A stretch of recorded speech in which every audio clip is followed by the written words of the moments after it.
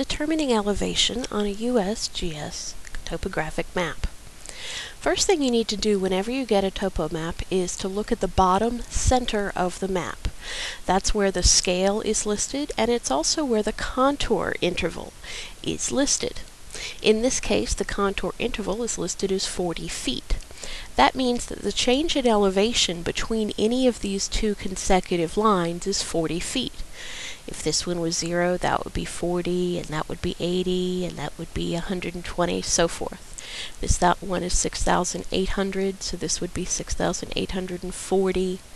This one over here would be 6,760, so forth. Now in this case, we're trying to de determine the elevation of two different points. Now when your point is on a line, there's a series of steps you can follow.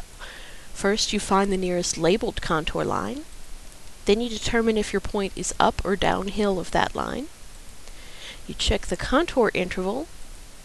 You count how many lines you are away from the labeled contour and multiply that number by the contour interval. And finally, you add or subtract that number from the labeled contour line. So let's try it out. For point A, we find the nearest labeled contour line and it's this one right here. It says 8800, so 8,800 feet.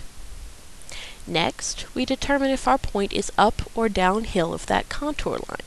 That tells us if we need to add or subtract. So we look at the nearby numbers and we find that over here it says BM8414 and over here it has 8800. Following this line across, we're sure that's fine. Good. Now, BM, just so you're aware, is a sign indicating that this is a benchmark, meaning it's a location where the USGS uh, field survey people went out and determined the exact location of that spot. Perhaps they simply wanted to find the elevation of that particular lake. It's not on a contour line, but it's just saying that that one spot was precisely measured. We find that point A is between this 8414 and this 8800. So we're going to, it's downhill of the 8800. It's less. Next, we check the contour interval.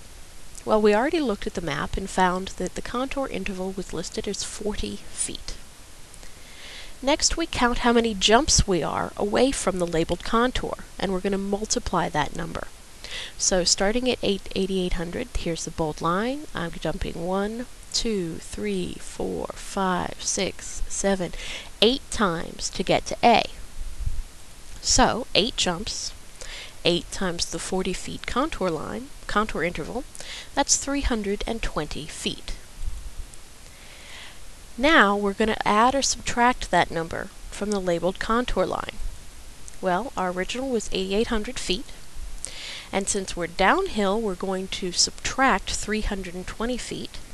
And we get that this line here, and thus point A, is 8,480 feet. What about if it's not on a contour line? If it's between lines, like for instance point B?